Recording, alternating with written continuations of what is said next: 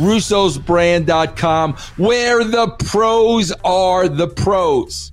Uh, Jeff, what do you got for Al Newswise?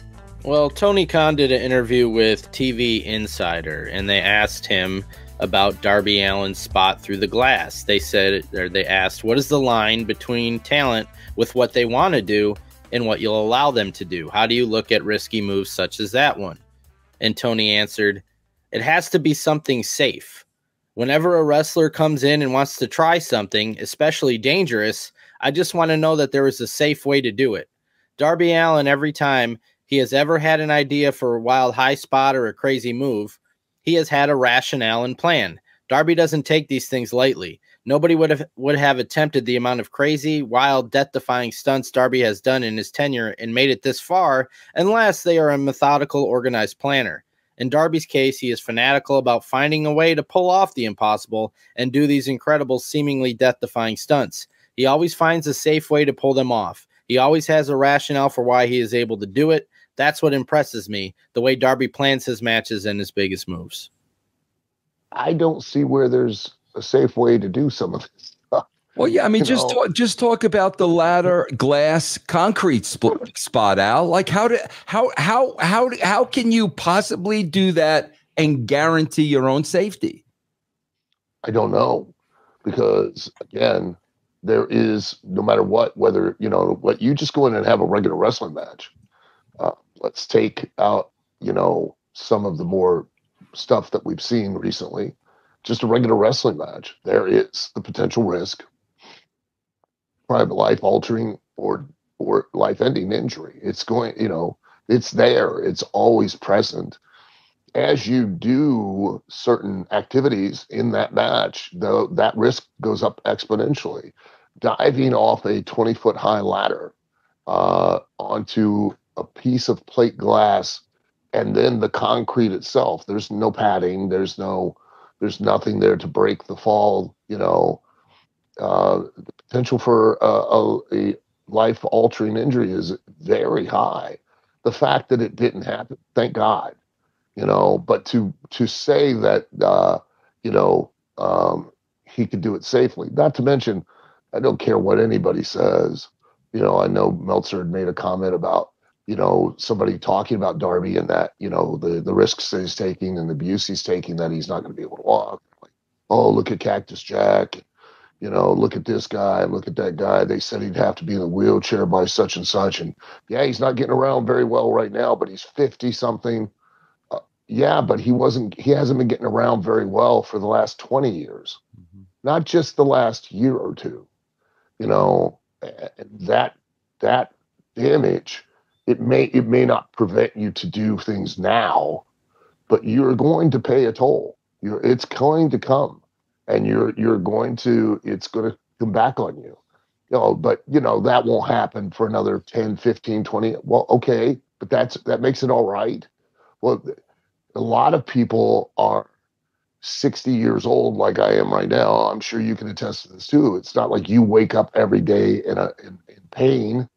I do from just the stuff I did. You know, every day I have to deal with it to some degree or another. So I know the price that has to be paid, and I know that it, they will be paying it, especially as they continue to do uh, this. It's more, I, no better term than stunt wrestling. You know, we're not doing it in the fashion of of telling a story we're not doing it in the fashion of trying to sell a competition. We're doing it for just that brief, oh my God, holy shit reaction. And as long as we're doing it for that, it's simply stunt wrestling. Yeah. That's all it is. I mean, my God, you're talking about, he saw, you, uh, Al, you and I both know when, when there was something outside of the bounds what did Vince McMahon do? He did the stunt himself. He yeah, did it himself. Well, I, yeah. I saw this with my own two eyes. Bro, this guy's going through from a 20 foot ladder through a piece of plate glass. You mean to tell me that you know without a shadow of a doubt that a piece of glass is not going to puncture your skin and like go right in your kidney or your spleen or your how how how the hell can can something like like that possibly be safe when it's so freaking unpredictable? Yeah, and and again, it was bad business. Whose night was it? Yeah, we know Sting. Yep. Yeah. Then why are you allowing this kid to go and literally steal the spotlight and go into business for himself during Sting's moment? It's Sting's last match, not Darby Allin's. Uh, you know, and if for no other reason, hey, if the kid wants to, you know, stuff a Roman candle up his ass and run around the ring screaming yippee yippee yippee while it goes off, go ahead. Explain to me how it was warranted and it was necessary that on during Sting's moment, his last match, you allowed this young guy to go out there and literally steal that moment away to where we're now only talking about Darby Allin. Uh, you know, it was the same as that night with uh, Shane going off the top of the cage, you know, when we were wanting to try and uh, get over Roman Reigns. And all we talked about after that WrestleMania was Shane going off the cage, went into business for himself. Yeah. Bad business. You know, injury, uh, injuries aside, uh, potential injuries aside, you cannot in any manner justify that to me.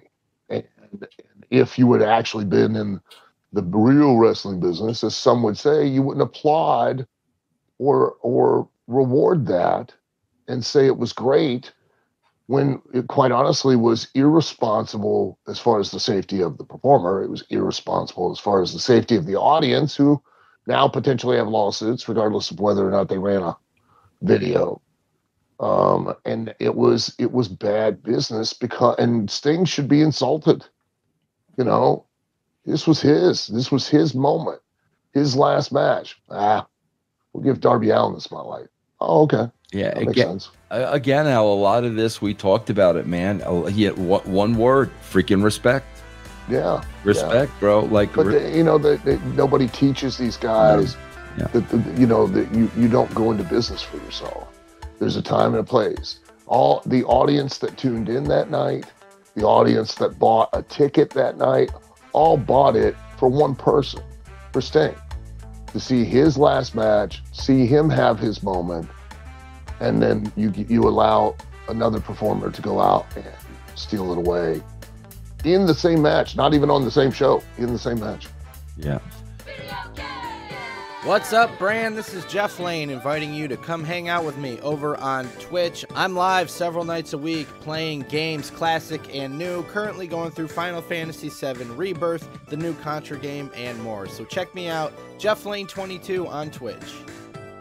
Mike Durban was on here and he was talking about the Conan Major Bendy's action figure. This you got one too, don't you, Vince? Yeah. The, the, these are high quality, like the high quality packaging, high quality art, high quality figure. Yeah, very nice. Yeah. yeah.